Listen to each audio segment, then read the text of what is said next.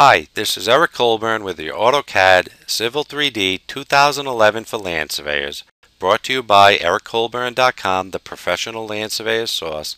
And this video is Eagle Point Surveyor's Companion for Civil 3D, an overview. What I will be doing is just a quick overview of the features and functions of Eagle Point Surveyor's Companion for Civil 3D, and unpacking if you like.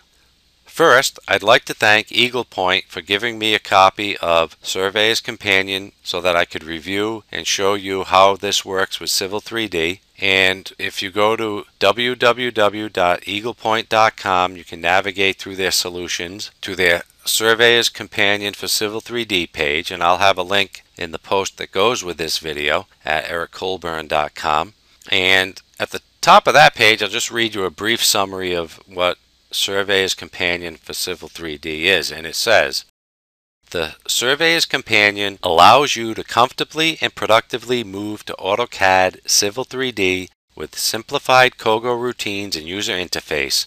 It's integrated with Civil 3D and interacts with the native point, parcel, surface, alignments, and profile data. Multiple routines both dialog and command line based are included to import raw alignment, lot, and field traverse information directly into your drawings, bypassing the requirement of using an external survey database. Robust point placement routines are also available to quickly locate COGO points that can be uploaded to the field for staking. So visit their page and you'll learn quite a bit more about it. But again, just a quick overview and unpacking, if you will, of the Surveyor's Companion by Eagle Point. And the first thing you'll do is you'll load the program, which will go through a little setup routine, which I only had one little small problem with because of my setup with my computers, but it was uh, pretty uh, seamless. When you open up Civil 3D, it loads a tab in your ribbon and you can see it along I have that open along the top of the screen and the tab is called Surveyor's Companion and I'll just work from left to right, we'll go over what the main tabs within Surveyor's Companion are. First, there's Points, then Layout, Reports, Surface Tools, Settings, and Help. Again, going back to Points, you have several commands. You have Place Points, Snap Points to Object, Place by Station and Offset, Zoom to Point, raise and lower points, place by alignment and profile, and we'll just expand the menu at the bottom here. You can convert EP nodes to Civil 3D points. I'm assuming EP stands for Eagle And convert EP field code library and command line place point.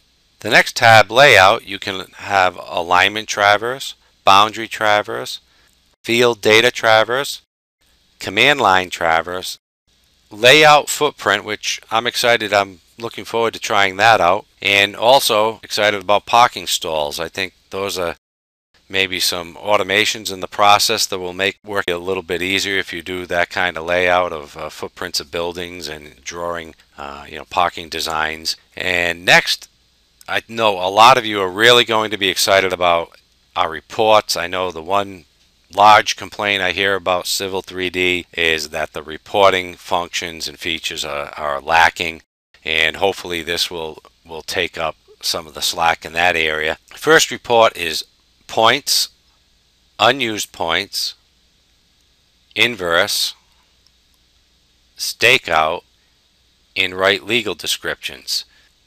I really haven't tried too many of, of the functions of Surveyor's Companion, but I did fiddle around a little with these point listings and reports. I, I, I did use that. And one of the things that I found very useful is the unused points, particularly when you're loading up your data collector and you're heading out in the field and you want to know what points are available so that you don't start overwriting points that are already in your drawings or in your in your projects. And then I know a lot of you are really going to like the write legal descriptions. I went through that a little needs a little bit more setup than I had the time to do with, but it looks really, really good, and I think that can help you be more productive and hopefully more profitable. So I think you're going to use the reports functions very much. I think you're going to like those. Moving on to surface tools, there's the Polyline contour tools. project plan objects, change elevation, and in the settings tab we have manage batch files, edit batch files, and then there's some options here of entry options and toggles and support path.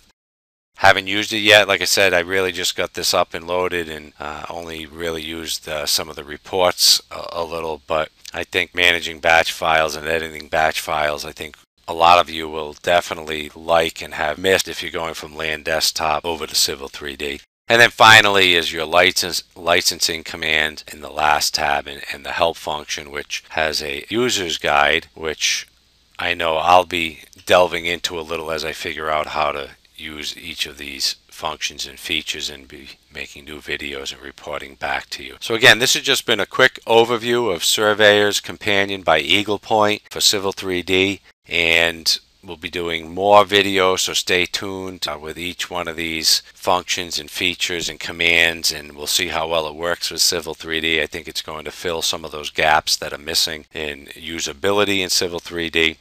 So this has been AutoCAD Civil 3D 2011 for Land Surveyors, brought to you by me, Eric Colburn of ericcolburn.com, the professional land surveyor source.